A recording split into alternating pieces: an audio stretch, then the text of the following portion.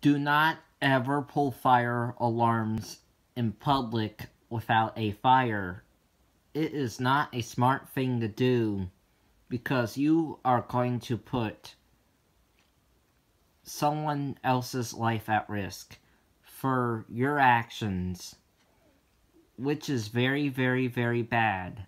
So never pull fire alarms in public without a fire.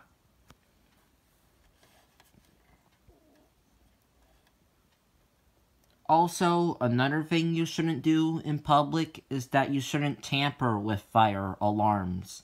So never take the trim plate off the alarm, never paint the alarm, never unscrew the alarm off the wall, never screw it in more. You don't ever take the strobe off the alarm, you don't ever throw the alarm, you don't ever take the horn off the alarm, you don't ever disable the horn or the strobe on the alarm. You don't ever adjust the volume, the pattern, the candela, or tone on the alarm. You don't ever cut power to the alarm. You don't ever smash the alarm.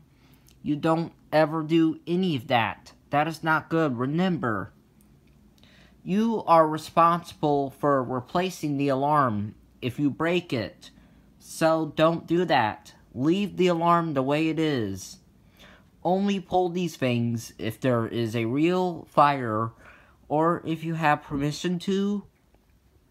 Pull it for a fire drill or a fire alarm system test or if you have your own fire alarm system at home that doesn't contact the fire department. But other than that, do not ever pull fire alarms in public without a fire for any reason.